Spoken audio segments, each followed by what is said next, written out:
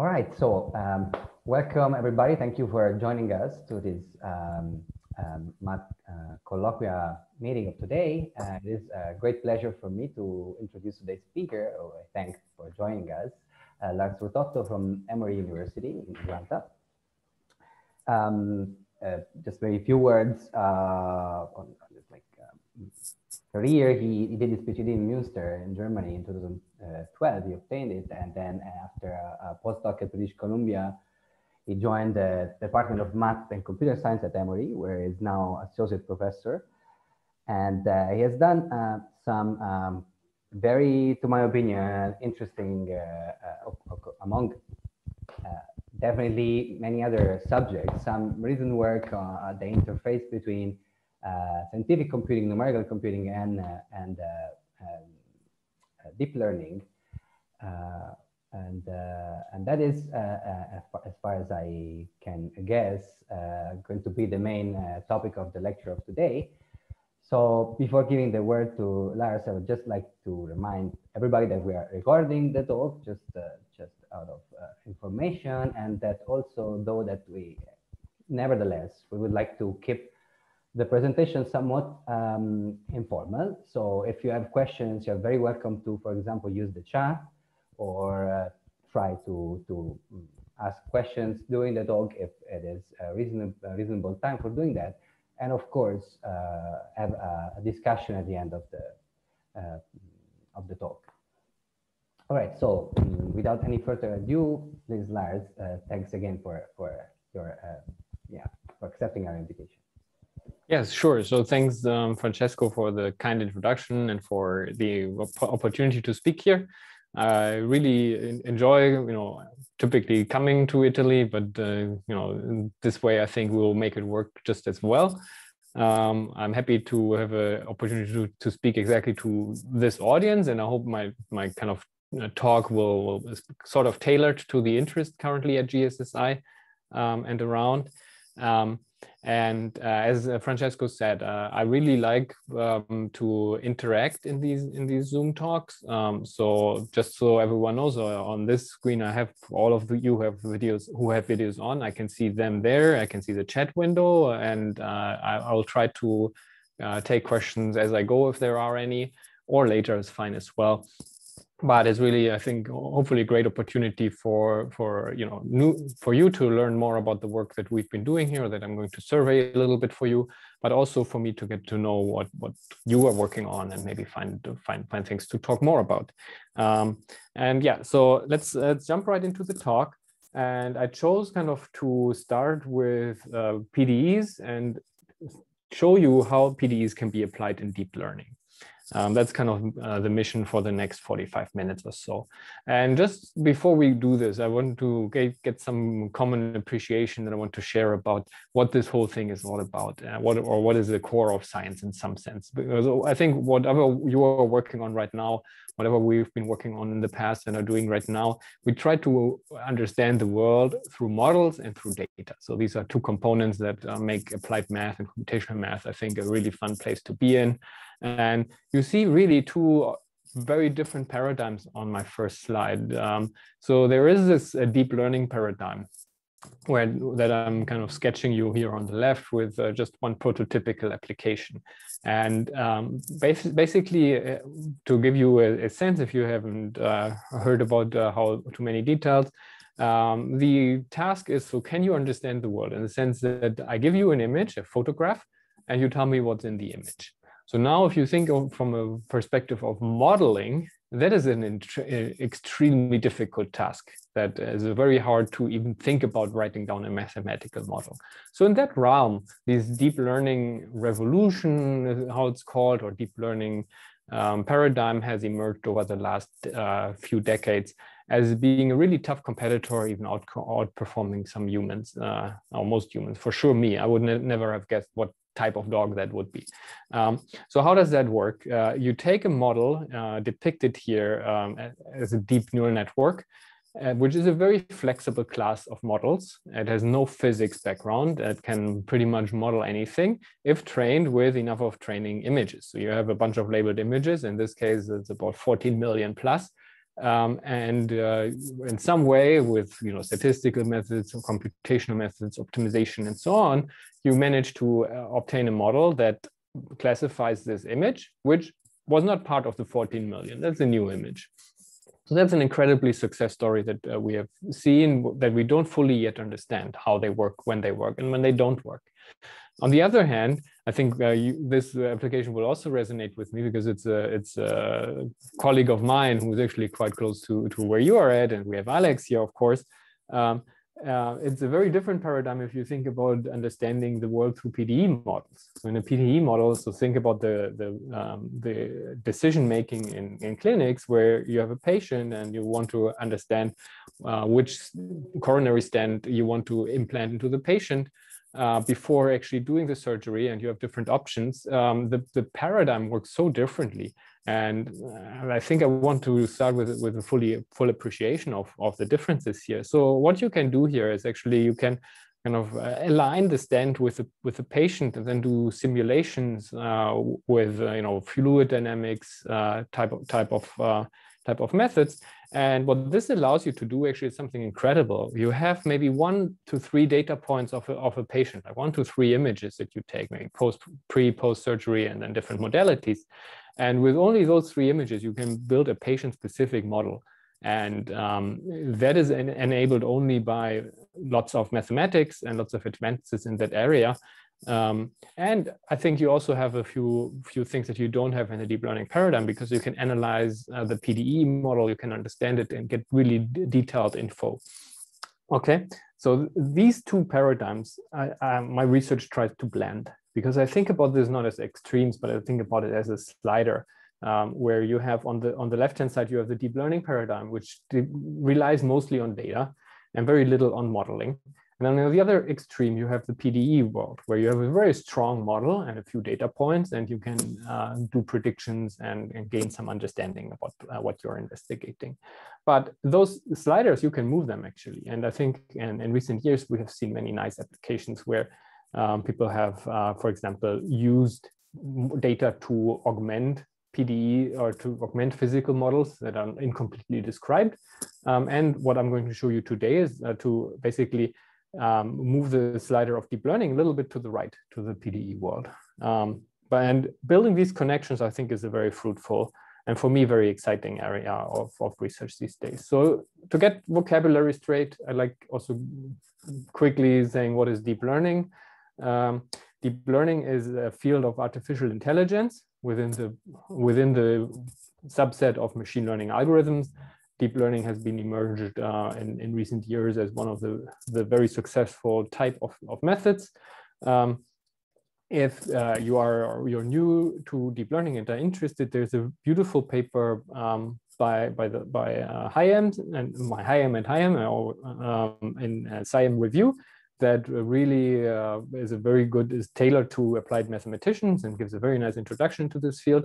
Uh, so we should not forget forget that there are also other machine learning algorithms, of course, around, and AI is a bigger field than machine learning as, as, as per se. Um, but uh, I want to put us on the map, and we are only going to talk about deep learning today um, in, in this talk.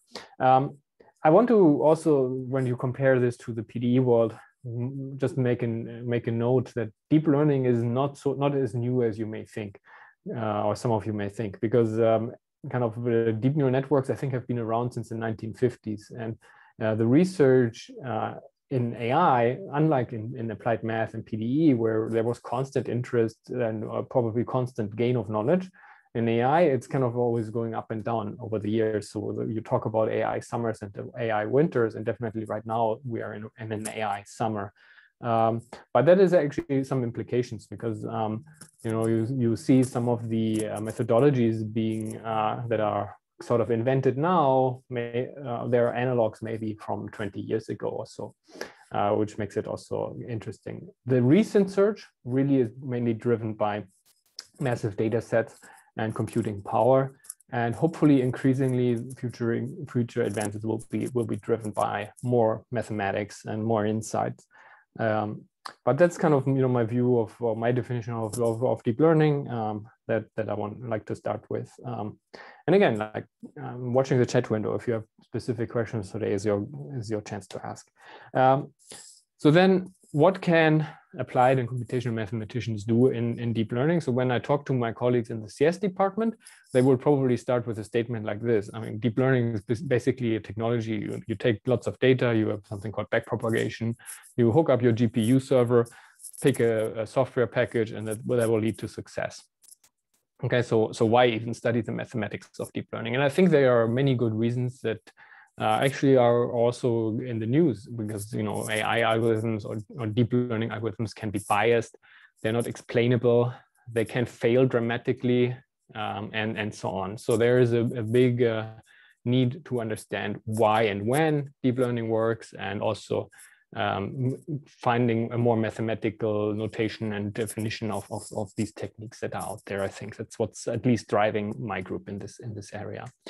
Um, so then and just to give the, the roadmap map, again, the main goal for today is to highlight connections between PDEs and deep learning. Um, and we are going to talk about one direction uh, today, uh, namely, how can we bring in PDEs and ODEs into deep learning to gain, get more insight, improve the efficiency, and gain robustness of, of deep learning algorithms. I will say that there is also a, the reverse direction that is equally interesting, I would think, and is actually at the moment also what what uh, we and my, what my group and, and I are doing quite a lot is um, you can also use or think of using deep learning techniques to solve PDE problems that are seem impossible to solve. So think about the nonlinear PDE in a hundred dimensional space. Um, first of all, like that that blows your mind in terms of where where these things arise, but they exist. Um, and it's a it's a ball it's an area where you know traditional numerical analysis methods or computing methods like finite element, for example, are, are inapplicable. And there's an increased uh, demand and push to use deep learning uh, in those in those areas. And high dimensional statistics, of course, is another area where uh, you can uh, you can uh, think about using deep learning. So that's a that's a whole different talk that I'm not going to give, but I'm happy to chat about. Um, okay, now break um, our our path here into two two chunks. So first we'll talk about the connection between ODEs and, and deep learning, and then we'll talk about uh, the PDE world. Pretty much standard from a applied mathematician's curriculum, I guess. Okay, um, this whole whole work that I'm going to talk about uh, is a part of many years and many collaborations that I've been uh, enjoying over the past. Um, most importantly, I think, are, are my collaboration with a group of Eldad Haber, where I did my postdoc, and the two of us kind of got started in this business uh, in 2017, um, making some of these connections I'm going to talk about today. With Stan Osher's group, I've recently covered the reverse direction, and then I have other collaborators along the way, Stephanie Günther, uh, who is working on computational methods for, for multigrid and, and uh, acceleration of, of deep neural network training, and Eran, Treister in Israel, actually, who I work with on, on also these PDE-based image, uh, PDE-based deep learning uh, algorithms. So um, that's to them. And of course, there's some funding that, that we've gotten along the way and that we're grateful for. Um, okay, so let's make the, the move between uh, deep learning and ODEs. So let's look at that. Um, so here is a, a, simple example I like to, to play with and to, and to, and to start with. Um, you have a training data. If you haven't seen it, it's a supervised classification problem. Uh, you have some training data um, that are 2D points. Um, they are labeled blue or red. And you basically want to find a function that now for every point in R2 uh, kind of gives you the color red or blue. Um, and the idea is to take those examples. So now think about the data points. Um, so the, uh, as examples, so they are two-dimensional examples. And you want to make a decision with respect to the color. So you have two inputs. That's typically how neural network uh, persons uh, describe what they're doing. Uh, they go into the neural network, then something happens in between, and then you get the one number out. Uh, and that is a classification result. And I want to build this up for you um, and really walk you through the, the modeling step of, of, of this simple model, or if a simple model to accomplish this task, because of course there are many other machine learning methods you can do. So here's your training data again. Um, so mathematically, there are points in R2 that are labeled zero and one, say red and blue. And then what you do is you de describe the process of the forward propagation through the ResNet. So I'm talking, I'm mainly interested in residual neural networks um, today um, because of the relation to ODEs that we will see in a second. So you, you have typically an input layer uh, you take your y, you multiply it with some matrix k, and you get your first hidden feature that I'm going to denote by u. Um, and this k here can be a matrix. In my case, it's a matrix that is three by two. So then um, uh, you get uh, three, three hidden variables. Um, and the matrix is going to be unknown, uh, is going to be learned or inferred uh, during the training. So that's, uh, you can keep tabs of what is known and what's unknown. The k in uh, for the input is, is, the first unknown. So then um, in between these, these, uh, these dotted, uh, dotted arrows here, what, what the, the idea is, is that you have more transformation. So you take the previous feature, you apply, apply an affine transformation, and then a pointwise activation function or nonlinearity to it. Uh, I've denoted here the sigma that I'm using, it's a tanh. Um, and you keep adding this with uh, some parameter h for step size to the previous feature vector, uh, u0. And then you get your u1, you plug it in. And so in those layers, they are all structured equally. Each of them have has introduced new weights. So the k naught and b naught to k n minus 1 to b n minus 1 are the new weights also. So then in the very end, you make your decision. So you have these three outputs, and then you basically project this down into R1 and apply this uh, function S, which is a softmax or a, like a sigmoid function in this case that squeezes everything between zero and one because you want to predict those labels. Okay, so if you write this now down, down uh, in terms of what are the unknowns and the, and the knowns, um, you can make a big vector theta um, where all the weights are, are stored. You have um, the, the re ResNet weights, you have the output weights, and the input can be either fixed or not fixed. Uh, sometimes you can choose this randomly or you can do other things. Um, and then the training problem uh, boils down to solving a stochastic optimization problem that I can write down like so. So you have uh, the outputs of your model, you compare them to the given classes, and have a loss function that evaluate, evaluates how well you're doing, typically a cross entropy loss. Um, and basically this expected value as you sample examples from your data set, um, typically divide into training and validation, of course, and you add some regularization to the problem and then you minimize. And of course, there is a big machinery in terms of how can you optimize uh, uh, these, these type of functions. Um, there's a nice uh, review paper uh, by Leon Bottou um, that you can look at for, for many, many of these choices. And by the way, I'm going to uh, post a link to my slides later also. So I forgot to do that in the chat. Um, so you can grab them with, with references and so on. Okay, um, the training is not so much our, our deal for today. It's a very interesting problem. Uh, we're also working on this, this a little bit, but uh, today we're really going to talk about this, this process of the forward propagation here. Okay, um, and um, let's look at uh, the discussion of ResNet. So um, when you when you see this written down, and I told you already that this h corresponds to a step size, uh, first thing you notice is that this is actually a discretization of or forward Euler approximation of, of an ODE. Um, so that's uh, what, what got me started in here um, and still is, something really fascinating that you can you can play with. So that's a relation between a typically discrete neural network and a continuous analog, and you can use that now to to gain more insight and get new ideas how to solve the learning problem. ResNets have become popular though before this observation. So the ResNet uh, came about I think in 2016 or something like that and has uh, hundreds of thousands of citations because they work so well in different different tasks. Um, a few other advantages have been noted over common architecture. So they uh, often improve with depth, which is not to be taken for granted. So if you add more weights, you would expect to do better, but in many traditional neural networks, you actually don't because the training problem is just incredibly hard um, and nonlinear and non-convex and so on. And you can see an example here where you have a non-ResNet with many weights. And the, this is a function that you will minimize and it's not a nice function unless you know a lot about global optimization, which could come in handy, but it's a very high dimensional global optimization problem. Um, or you can think about solving the, uh, minimizing this function. I'm not claiming that this is necessarily an easier problem because you have very many local minimas too, but at least it's a smoother function. Um, and, and that uh, saves you a few uh, difficulties.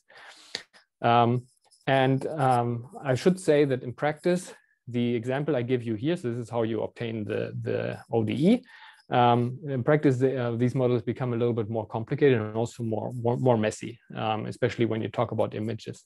And here's a note um, I like to give also because I talked about AI winters and AI summers. In the last AI summer, there are actually some works when you now look at them, knowing what you know about ResNets and so on, they look uh, pretty pretty similar. So um, it's actually quite remarkable to look at these, these two papers uh, from that lens. Um, Okay, so what can you do in terms of insight from from this perspective? Uh, one thing that that um, basic question that we started asking ourselves when when we first looked at this is uh, when under which conditions is a forward propagation stable? And by stable, I mean that small perturbations of the input feature lead to bounded uh, in, uh, perturbations of the output feature. Okay, um, and there are many reasons why you could why you should care about that because uh, obviously if you want to train the weights, um, the theta here again is unknown. Um, you want typically your, your problem to be well posed because um, otherwise you may run into diff difficulties in the, in the optimization.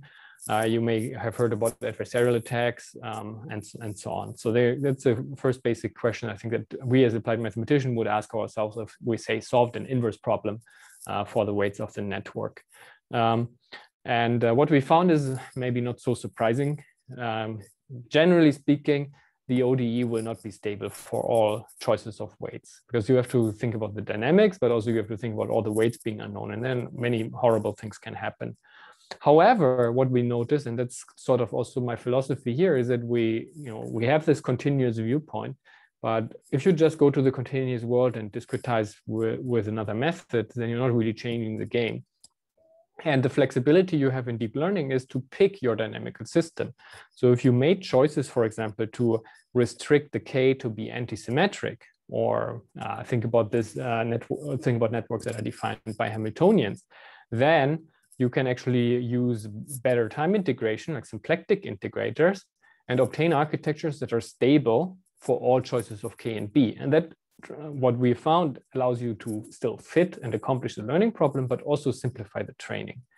Um, and um, I mean, clearly, uh, like that is uh, kind of um, uh, an experimental work that we've done on, on quite simple tasks first. But in the meantime, since this original work, there have been actually many extensions to of of of, the, of these ideas, and and I found that found more expressive architectures that are still stable and so on. So there's just an incomplete list and a growing list of, of, of some of the references here um, that this work has sparked. Um, and I think noteworthy are that uh, now by now also the analysis has advanced quite a lot, not by my group, but by, by other people who have uh, built up on this in terms of the convergence and also about the optimality conditions to more leverage this, this uh, viewpoint of the continuous versus the discrete. Um, and of course, you know, different time integrators have been looked at. Um, so lots of numerical analysis work. There are nice works on optimality conditions and maximum principles in terms of training. And then uh, one one part of our push has been to to uh, to take these these te techniques and apply them to much more difficult data sets, which we've been able to do, and also refine sort of the the stability results um, that that we have in the paper. Um, so that is you know one first step of how you can use this continuous viewpoint. I think uh, the most successful follow-up work that, that we've seen was uh, what's called neural ODEs. So that's now become actually a term in machine learning, which is a big achievement actually to uh, penetrate that uh, that community. Um, and um, so there was a group in Toronto who, who wrote a paper that won an award at, at, at NeurIPS at one day uh, was covered in MIT Tech Review, um, and uh, really kind of uh, took uh, made these idea now really on vogue in the machine learning community and sparked, of course, other follow-ups. Um, you know, numerically, we can we can argue about uh, what exactly they've done, but I think the greatest achievement is that they have made this uh, popular. Um, mathematically speaking, to give a few comments of what what's what's sort of novel idea in neural ODEs is that uh, you treat this learning problem now as an optimal control problem in continuous dimensions. So you have adjoint equations, you have Euler-Lagrange equations, and so on. Um, whereas in the typical way of solving deep learning problems, like what we would do, so we would uh, use a discretized and optimized paradigm, and there are pros and cons, which we'll get to. Um, And um, also this neural ODE work is, is, heavily cited and has uh, sparked a lot of uh, in interesting uh, ideas. There are a few um, ways, if you, if you, start looking at the neural ODE, uh, I would really recommend you look at the Gholami paper here, uh, because um, there's one claim in there that you can, uh, when you solve the adjoint equation, you realize that you need to store all the hidden features because you need, need them for the computation. However, and that's kind of blowing up your, your memory, especially on a GPU. And the claim in neural ODE is you can recompute this by integrating the dynamical system backward in time. And that should ring a few bells here that that may not always be a great idea. Uh, here you have a paper to, to show exactly that.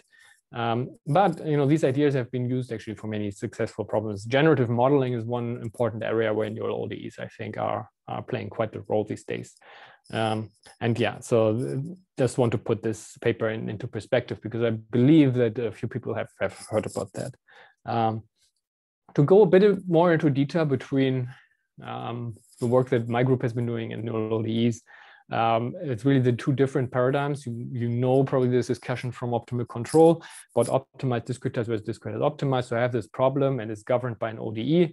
Now I have two ways of solving this. I can uh, first uh, kind of derive all the optimality conditions or Lagrange equations in the continuous uh, framework and then use um, optimization methods uh, in continuous time. So forward and adjoint solves, adaptive time integration, and so on. And it has a few nice advantages um, to, to be in this framework. What uh, we do and also what typically is actually easier to do in machine learning uh, software is discretize optimize. So you discretize all the weights and the states and time. You get a discrete problem, uh, get the derivatives through what's called backpropagation or automatic differentiation, and then you solve the problem on a discrete level. And these two things I also fill a whole talk of discussing all the nuances. But uh, just to show you what would actually happen in, in practice on some of these learning problems, is that you can see huge speedups uh, when you go into the second paradigm. And the reason is that in this framework in machine learning, yes, you have an ODE, and like a neural ODE that is uh, describing your forward propagation, but this ODE model is not given to you by physics or by modeling or by first principles. So in some sense, uh, in optimized discretize, I would say you sort of overdo the continuous, uh, you overuse the continuous viewpoint. And you are paying the in, uh, in here in terms of convergence. So you see one example for CIFAR10 where you see uh, the loss functions in blue for optimized uh, for discrete optimized goes down much quicker, and also the generalization is better. Uh, and uh, and also the runtime, by the way, is, is, very different for these. So the cost per epoch is actually much lower in the blue than it is in the red. And the reason is you, you're not solving the, you're not taking the ODE too seriously in this, in this, in this work. And um, so my advice here would be use discretize optimize. It's easier. Uh, you know kind of what you get in terms of cost. Conversions and generalization typically are better. Um, but I'm happy to, to discuss this also uh, if you have other opinions. So I want to highlight another way how you can benefit from this continuous viewpoint, and that is by using methodologies from optimal control. And one uh, work that uh, Stephanie Günther uh, has been leading uh, together with my group and a few others is to use a concept that has recently been uh, developed in optimal control, and that is called parallel in time methods. Because you realize that the forward propagation through a ResNet is a sequential process. You go from one layer to the next and so on. So in order to increase the opportunities for parallelism, the idea here is to replace this forward propagation with a parallel nonlinear multigrid iteration. So that, you know, you scratch your head because you have something that is sequential, but it's a closed form, you know, have an explicit time stepping, and you replace it now with a multigrid that solves a nonlinear equation. Um, so clearly, in terms of flops, there's almost no hope that the second approach would work better. However, you have a few benefits here now because you can uh, simultaneously iterate on the weights and on the states and adjoints. So you don't always solve the ODE forward and backward. You kind of uh, in the in the limit. It's sort of like all at once method in optimal control. Um, and you have more benefits for parallelism. And uh, what we found here is that uh, when you have about 16 cores for the examples we looked at, you're actually faster with the parallel multigrid. Um, I, will say that the parallel efficiency is not so great because there is a lot of communication uh, coming along, but it's really the number of cores that are, say, very difficult to use in a normal learning paradigm where you do, say, for example, stochastic gradient descent, you have many small steps that don't require much computation and are not really suited for parallel computing. So in that sense, uh, those works um, uh, are actually an improvement. Uh, and since we worked on this, actually the efficiency also has gone up by, by other works that, that I've seen. And also there are now actually quite convenient software packages to do experiments with these type of methods. But uh, you can sometimes really um, reduce the runtime here quite a lot. Um, and it's not so easy to parallelize the training, especially when you have very deep networks. So, um, so that's the kind of the part ODEs and, and deep learning. Um, maybe I'll, I'll stop here for just, just a second and, and then jump into the PDE world. And uh, happy to take questions uh, if people, people have any.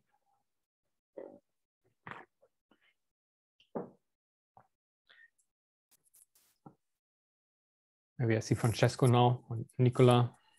We're good? Yeah, we're definitely good. Yeah, yeah. Okay, very, very good to know. Um, questions also? I, I, I, move on.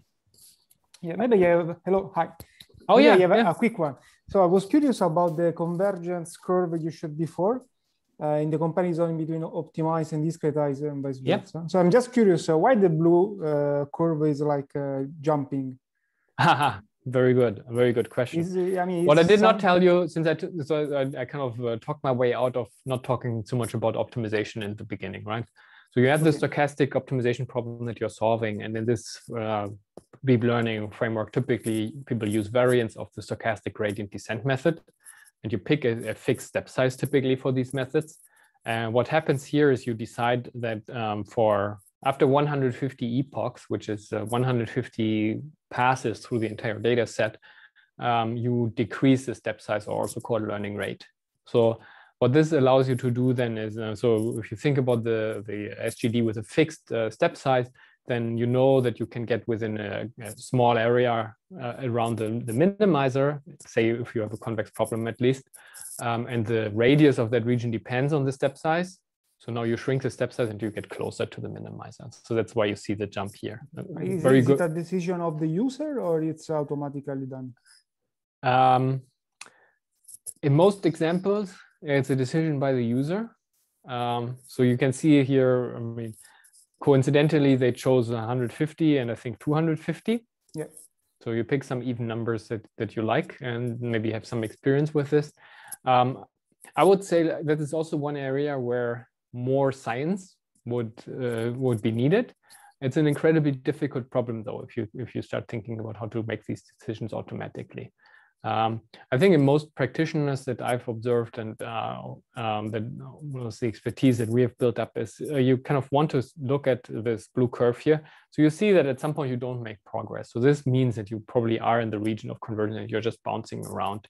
So then you can just go in and, and, and decrease the step size. And there are a few, you know, heuristics that uh, some, somewhat make this process a bit more automatic. Some controls, basically.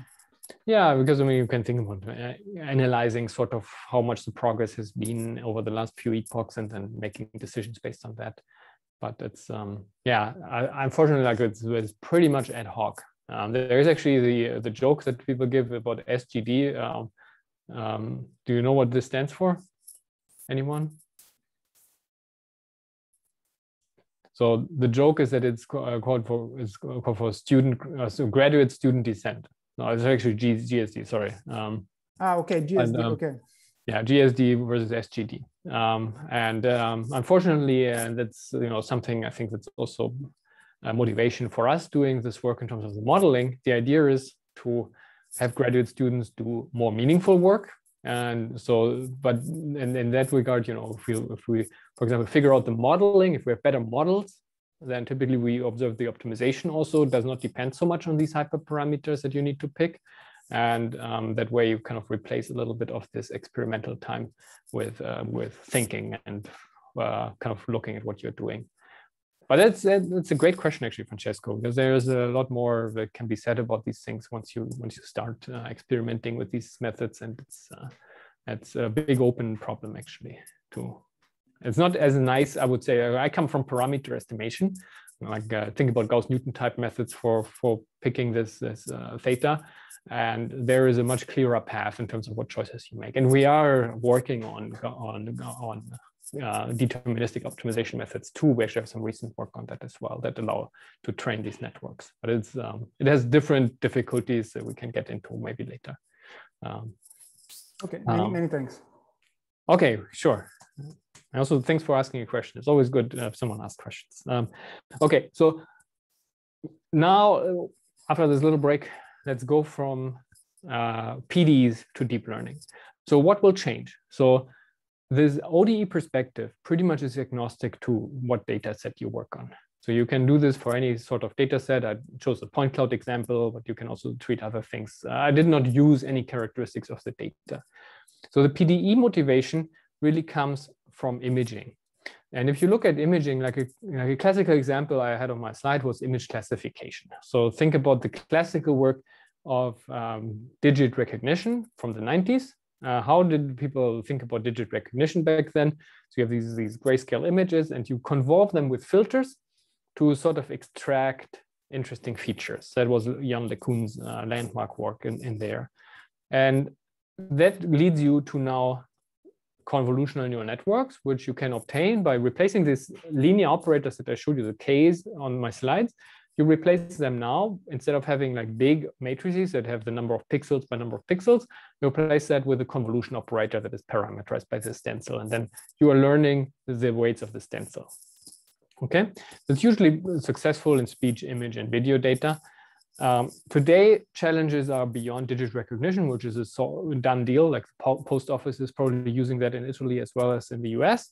Um, now, I think top-notch questions are semantic segmentation, for example. You think about a street scene here in London, um, and you want to label every pixel in that image. And you want to do this probably in real time, so that in a self-driving car, the car always knows what is a street and what is a pedestrian, so it knows where to go.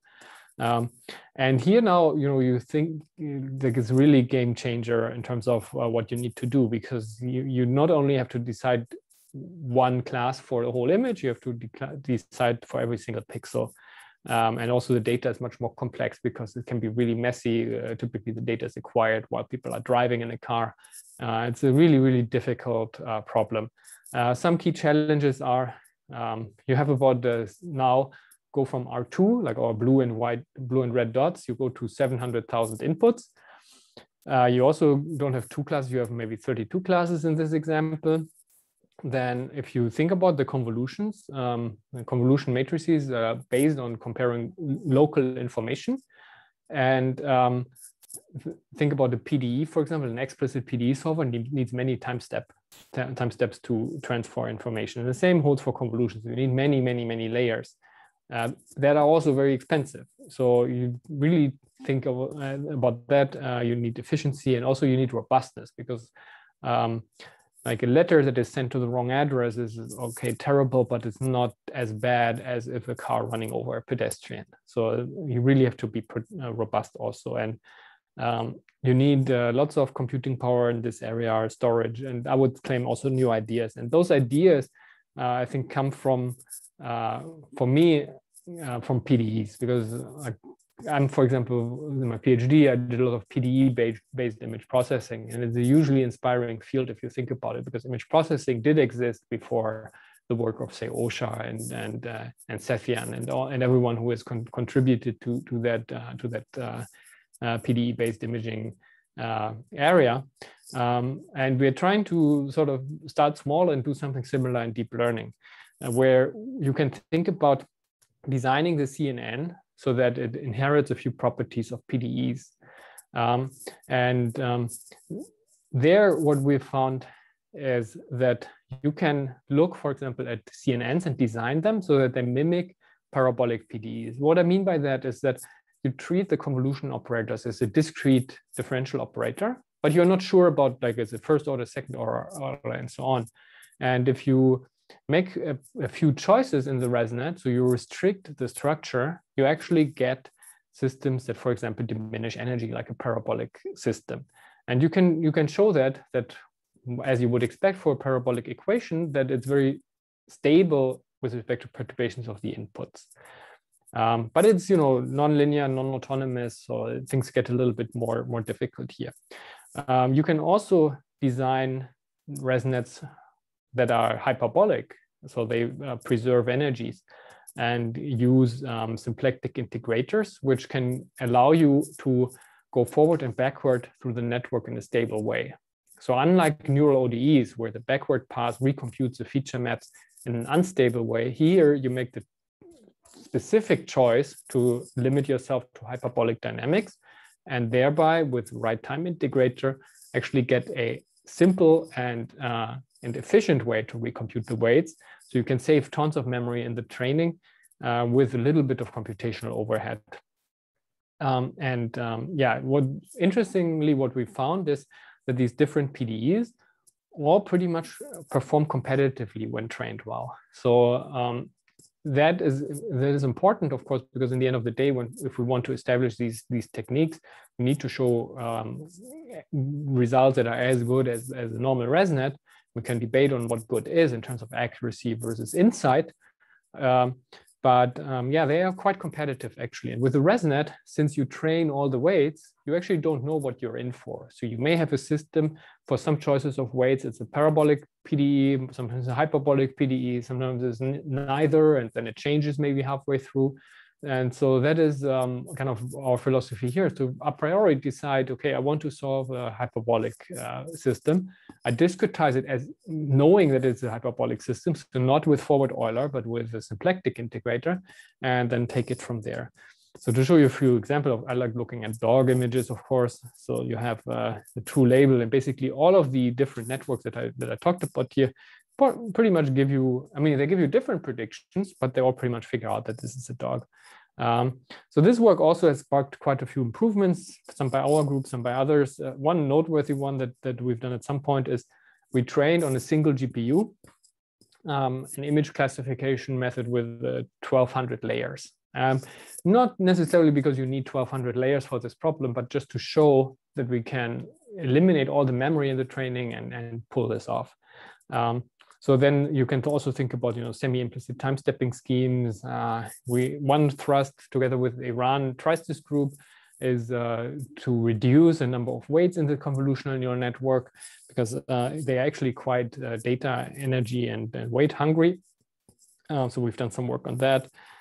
Um, and on a related note, actually, um, also some of those CN, like CD, connections you can now uh, also, with knowing what you know now, see in the 90s. And also, um, of course, this paper by, by Chen and Pock actually is an image processing paper where they're also training these uh, PDE models, which now gets a, I mean, maybe that's also a trend uh, for, for you, like to train reconstruction algorithms and so on. So that's, uh, that's a nice interface actually to these deep learning methods that are, or a nice alternative also to these black box uh, machine learning methods that you can find.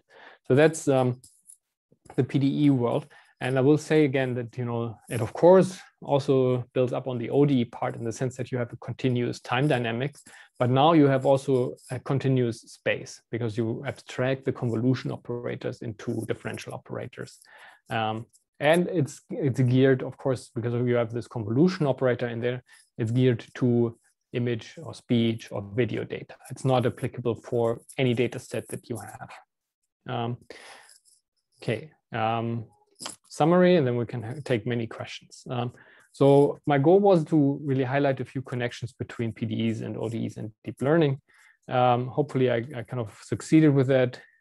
sorry for not going into the opposite direction. I said it's a different talk. I think I have, have even recordings to share if you are interested.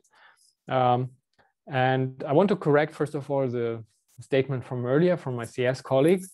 Um, there's a missing piece in this equation that is really mathematics because um, in the end of the day, we really need to understand deep learning much better in order to uh, you know, use it or to not use it um, in, in real life applications. Uh, we really covered the direction from PDE to deep learning. What we did not cover are many, many things, and I want to disclose a few. So take the other direction we did not cover.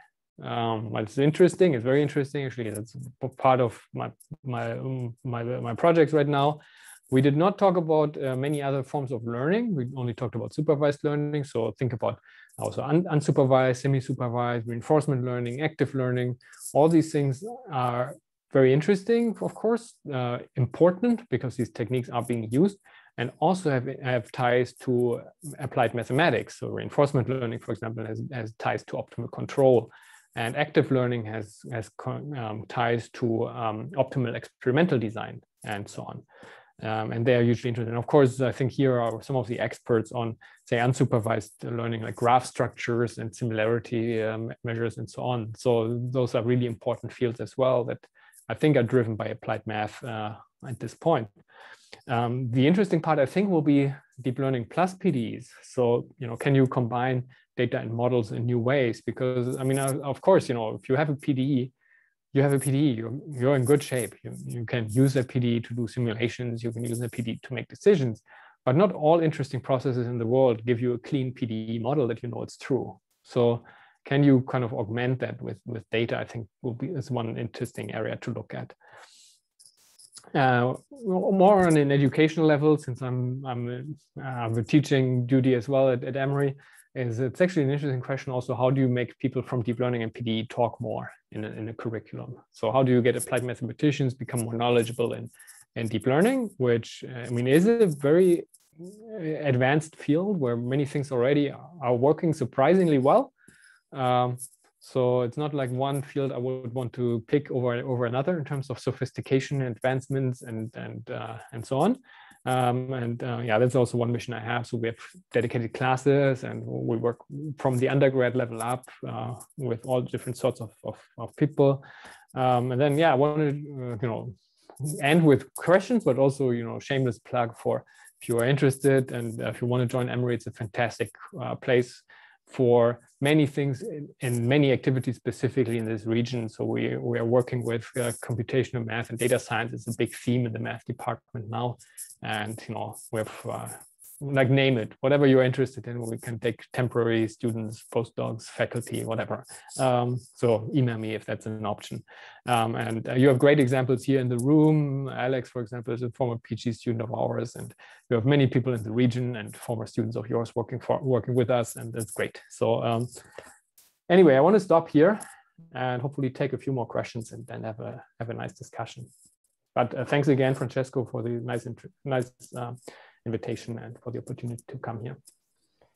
Thank you. Thank you very much. I mean, I wish uh, the opportunity was was really to have you here in, in presence, but it was really next time. nice. Uh, nice talk. Next time, yes.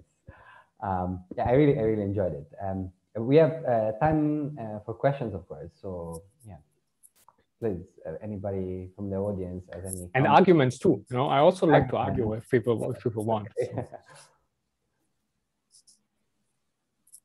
Maybe I can start off with just uh, like a basic uh, question, sort of like a, the, the, behind the whole thing. So uh, it is not completely clear to me uh, what is the ResNet.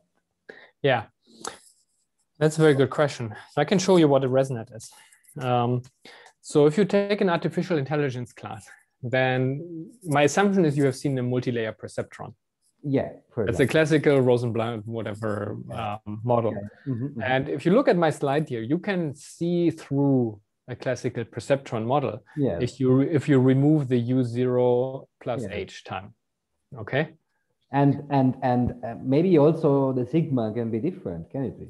Yeah, the sigma can be different. I mean, that's the same thing in a ResNet. You, you can pick different sigmas if you like. That's not ah, the main ah, thing. Ah, okay. The, the, main the main difference. Yeah, sorry, sorry about that. I mean, kind of had to rush through a little bit. Uh, the main difference that that there is between, um, or the main innovation in the ResNet, yeah. is really this U zero plus. Ah, okay. okay. Uh, that is called in machine learning. They call it a skip connection. Okay. Um, and um, you know, one way to motivate it, and also the name residual neural network, is that if you if you add this here, then what you're basically learning is the update. So you're learning the residual between u0 and u, u naught. Um, and that has a few implications. So for example, if you take a multi-layer perceptron model that does not have this uh, skip connection mm. and try to learn the mapping f of x equal to x, that can be really tricky because of the activation functions that you have in there. If you do this with the with the ResNet, that's a piece of cake. I mean, you're picking yeah. all the weights equal to zero, and you're, you're there. So in that sense, that's you know uh, like a silly motivation of why that is an important work, but just empirically, these things have been working so well across so many different tasks that uh, they are important. And then the h, of course, is something that I put. The original paper, so that's so coming out of Microsoft, uh, they have h equal to one. So you have a forward Euler scheme with a step size of one. What could go wrong? Um, yeah, but um, but that uh, you know I had to put forth for the other. But that is the main difference. Yes. And didn't you say also at some point that that these were successful when uh, you have many layers? Did I get that? No. Yeah, yeah, exactly. So now, if you, especially if you, if you, there? can you give a where? Yeah, I can give you some intuition about that. So if you if you know multi-layer perceptrons, mm-hmm. then you know, for example, so say you have trained it and you have trained it to an okay level, but you're not happy. What are your options? You want to add more weights, and if you add, for example, another layer, my guess would be that hell breaks loose because you add another layer and that does a random transformation of the whole data set and you know whatever i mean it's not always clear that with more layers for example i mean yes yes you become more expressive in principle but uh, it's going to be a very hard training problem or initialization problem to do smart decisions in there and that's been an observation in deep learning also, where when you add more layers to multi-layer perceptrons, uh, training can become unstable quite quickly. Just think about uh, matrix powers, uh, can, can sum up really quickly. Um, and um, and very unpredictable with, say, a 20 layer uh, network and a, 40 layer network. I mean, how do you even get there? There are results in this original paper here where, where they kind of do these tricks or, or observations. You train them and you see that the larger network performs more poorly even on the training data, and that's that's mm-hmm. difficult. So in here, uh, especially when you have the perspective of a differential equation. So if you add what is a layer, a layer you can interpret here as as being a time step of your ODE solver. So, so if you have a long term.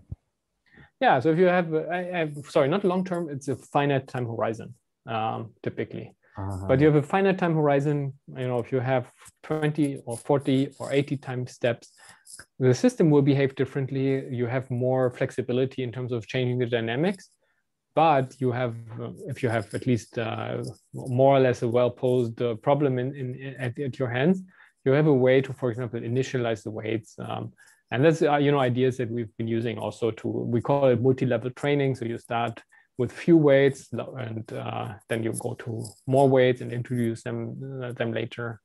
Um, but um, but yeah, that's a, that's a, I think an excellent question here because that's an important uh, trend I think in these in these areas to to use these architectures. And I will say the motivation for computer scientists is mainly because they work so nice and you know they have empirical observations where you know the loss function really looks looks much better.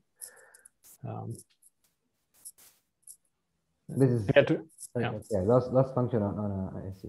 the same loss function on on a ResNet. Yeah. So this is of course you know an anecdotal example I pulled from from this paper. This does actually quite a nice job to because you immediately start thinking. I mean, this is a high dimension optimization problem. Like how do you even plot these things? Yeah. You can look in this, this in this paper for how they how how the sausage is made. But um, from our experience also in training these networks is that if you make the right choices here, terms of the stability, good time integration, you typically do better in the training um, and you have an easier life there. Whereas with multi-layer perceptrons, it's a, a, bit more tricky. And they don't have an interpretation also as differential equations. And uh, yeah, yeah, of course. Yeah. So that's you know a biased applied mathematicians. Uh, no, no, I mean I, uh, reasons I, for like for liking them. Uh, this is a, a, good bias to have. All right. Yeah, at least in this room, it, it should be. at least in this room. yeah. Okay. Uh, the question: um, If you have, uh, for example, that uh, there are some invariance properties. I don't know. For example, -huh.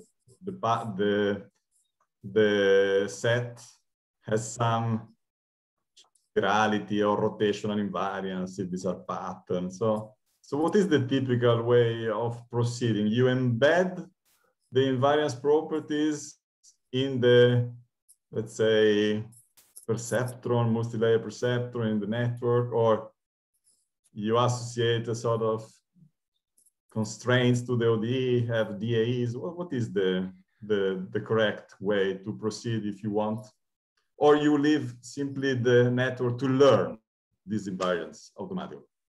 Yeah, so you put me on the spot here because uh, first of all, there are so many different approaches. I will not be able to pick a, the correct way uh, if it if it exists.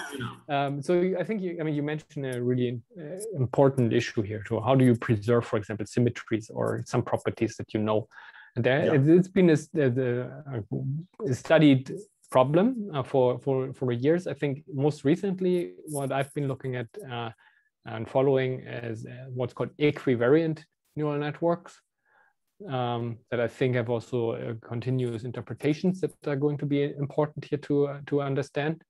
Um, it's not something I've actively worked on, so I can't tell you like how, how well these things work. But of course, there are also the other options. For example, if you think about the first layer here as an embedding, um, yeah. to sort of use that to encode in a, in a, smart way these invariances. And I think in like uh, kernel methods, uh, there are already some things to build up on some ideas. Yeah.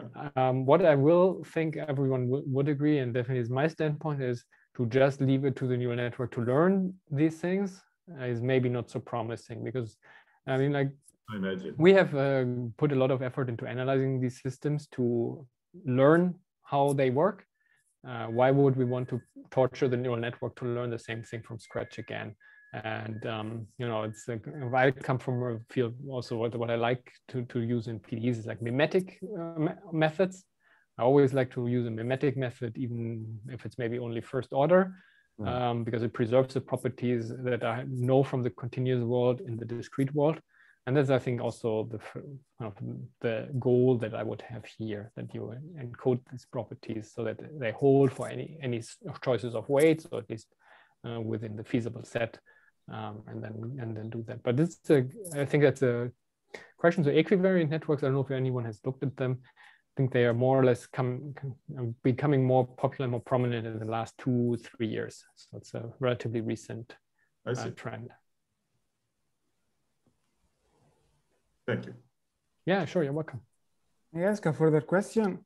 Of course. Uh, so uh, as also recalled here, or maybe at the slide before, so this ResNet uh, neural network is a, an Euler, uh, a sort of Euler uh, forward propagation. Yeah. Uh, maybe you said it at some point, but uh, I didn't get it. does it make any sense to use like a, a multi-step, doing an, an, analogy with Adam Bashforth, for example, yeah. doing a sort of multi-step in the sense uh, enlarging the stencil in the in the coupling in between, uh, for example, U2 uh, with U1, U1 and U0 also. Yeah, yeah, of, of course. I mean, like, uh, so I, I, think I put a few references here on, on, on, the slide. I think the paper that I know best in this realm is this Lu paper here that has yeah.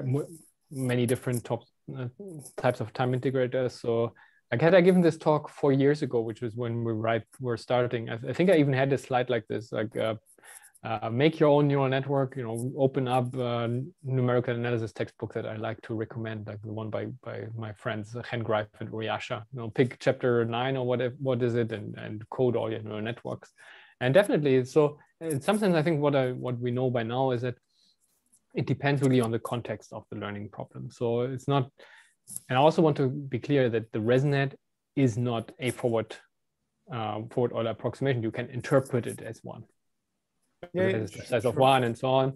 So and and then the other thing, especially in this in this audience here, is like the ODE is not first principle motivated. that's what we realize also by our experiments. We can change the ODE completely from parabolic to hyperbolic and still get pretty much the same result in different ways. Um, so in, th in that sense, like in say, if you ask me about classification, the role of the time integrator in my experiments, I have not seen as being too important.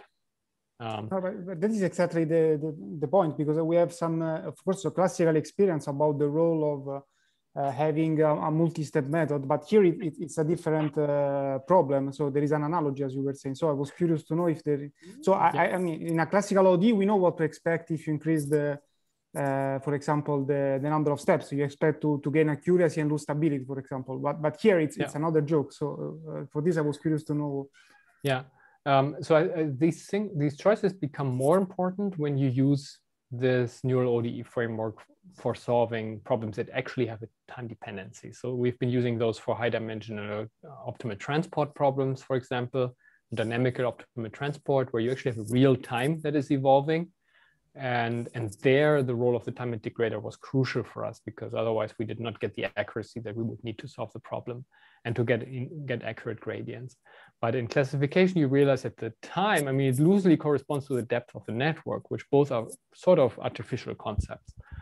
Um, and uh, I mean, numerically, I mean, I, I, think we did see no harm in, for example, replacing the forward Euler with the with the fourth order Runge-Kutta method. Um, often, I mean, sometimes we saw slightly better convergence. Sometimes we saw the same convergence when you when you adjust for the fact that it's more expensive and similar for Adam Bashforth. I mean, it's uh, pretty much uh, they performed for us not remarkably better. This paper, I think, had a few examples, and it also you have to realize it's always uh, depending on what example you're using, what data set are you using, what learning algorithm are you using, what step size are you using. All of these uh, things com combined sometimes make this uh, the water a bit more muddy. Uh, but that paper, I think, was a bit more optimistic in terms of the role of, of the different time integrators. Yeah, thanks. Yeah. Do you control the step size?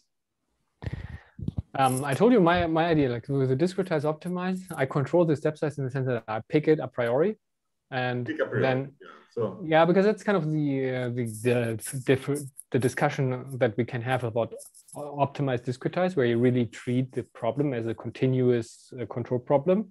Yeah. You can use adaptive forward and backward, or you, you treat it on a discrete level. And we've made best experiments or experiences with the discrete level for many reasons. So we pick it a priori, seem to pick it reasonably.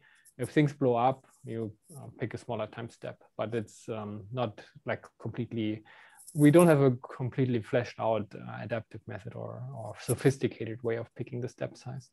Because, because I was wondering if one can control it just by imposing uh, the decrease of the functional that you are minimizing, which is the error. Um, so if the if the if the step decreases it, maybe you can increase the step size. If otherwise you see that it stagnates, then maybe you can reduce it in order to better follow the scale. I wonder. Um, that's um, probably, yeah, it's uh, definitely something to think more about um, and we can chat more about it. One thing I will say that sometimes you run into with these uh, choices is, you know, your loss function here yeah, yeah. May, may not be the right indicator of how well you're actually doing in the continuous world because it's a, it's computed using a discrete dynamics. So you may may sometimes what we I call it overfitting in terms of discretization. Yeah, so say I use only two time steps, then my network can do fantastic things that it's not supposed to be able to do and get to a lower loss value. So sometimes we have one example actually in the optimal transport example again, where we use a poor time integration and based on the loss function, this is a terrific result. And you look at the images and they just look like garbage. And the reason is because yeah, yeah. you're looking at a discrete, uh, uh, you're fooled in some sense, or we were fooled by this discrete uh, estimate of the, of the objective function. Yeah. So that's something you'll be careful with. But uh, but yeah, you know there are ways in optimal control, of course, also in discretize optimize to um, to to make these kind of type of choices, uh, based on residuals, based on sensitivities, and so on. And so it's um, you know we've put out the framework, so now I think we can all, and that's something also uh, way to generate research projects uh, has been for us in the last couple of years to yeah. look into the control literature to see kind of what what has been done for similar problems um, sure. and um, I, I, guess that will still remain some job guarantee for applied mathematicians in the next few years. But this is good. This that's is what we need. That's it. thank you. Yeah. Any other question or comment? Maybe maybe I, you know I, am gonna um, abuse my role and, and ask directly myself two more questions if I can. Uh, oh yeah. Uh, so one is actually uh, connected to what you said before. No, we, we're looking at the uh, fixed time window.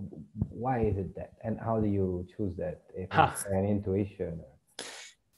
Yes, uh, that's a very good question. That, that is important to address in an applied math concept or co context here. Um, and I want to be provocative and say that here it's not it's meaningless to look at the asymptotic limit of the system. Um, in the sense that so well wait sorry I did not want to jump here. So the for two reasons. So think about again, again maybe on this slide I can show it to you. So u n is basically your approximation of the ODE solution at u of capital T. That's a time finite time. The goal that you still have here is at some point that you use a, a, an affine model to classify red or blue. You need to make this decision. That's the ultimate goal. And uh, the transition from U, U1 to UN, you can think about it as like a mapping or morphing in, in the in the feature space. So the points you can uh, some of them like visualizing them as a movie where the red points go to one corner and the blue points go to the other corner. Then you fit your linear model in between and you are good to go. Okay. Hmm. Um, so it, it, there is a finite time horizon after which you want to make this decision, uh, after which you want the separability in the, in the data set. So if you look at the asymptotic limit also, so think about, um, you know, talk about parabolic networks, for example, there you actually, it's really crucial that you have a finite time horizon because in the long run, everything will go to, to zero basically. Mm. So now think about the, the job of, of this last layer here, which is sort of your linear classifier. Um, blue points, red points, everything is at zero. Like, how do you make a decision now? So there's kind of crucial yeah. to think about it as a, as a finite time control problem. But is there any, I mean, like, uh, does it change anything if you change that uh, T, the capital T? I mean, of course, of course. Um, that's kind can, of uh, depends on the problem. It's kind of. Uh, yeah, it's it's again becoming what people call a hyperparameter, and you can uh, see some differences. So also when it comes now to activation functions, for example, if you pick the ReLU function, then the choice of t shouldn't matter because you can absorb the h in the scaling of the it's a one homogeneous function so you can pull the h in. So uh, basically um, there's a redundancy between the size of h and the size of the entries in k. Right. you can rescale it to anything you like in this example where you have the sigmoid um, the finite time tends to be a bit more important. Yes. How do you pick it? It's similar to picking how many layers you use. Um, it's um, uh, you know.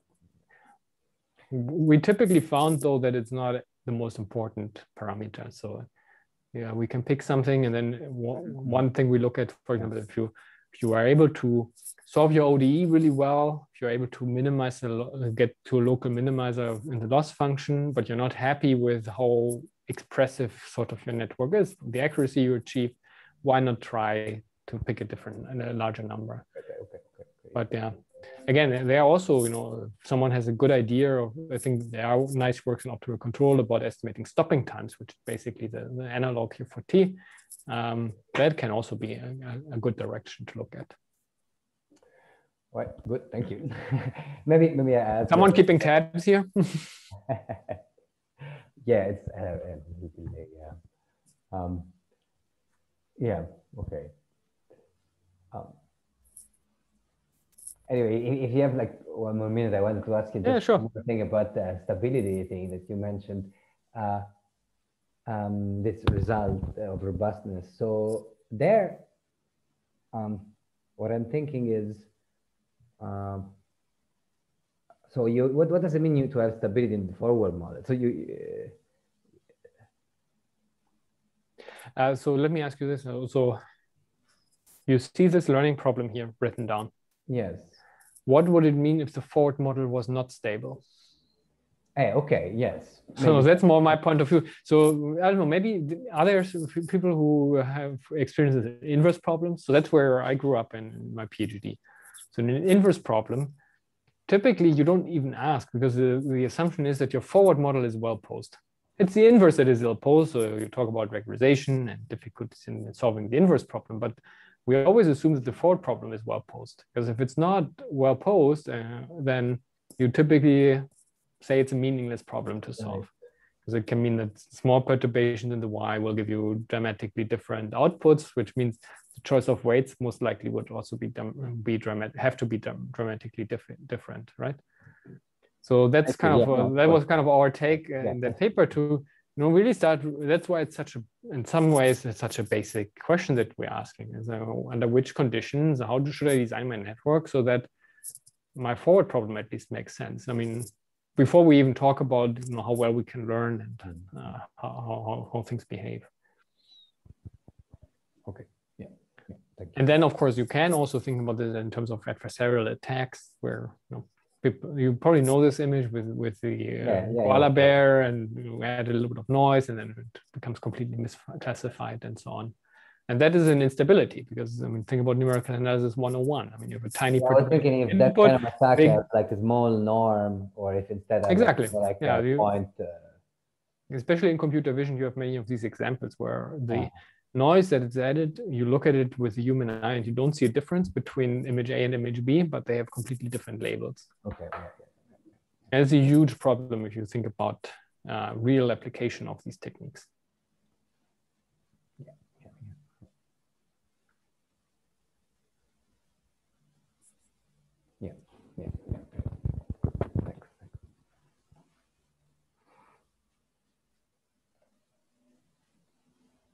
Cool. More questions?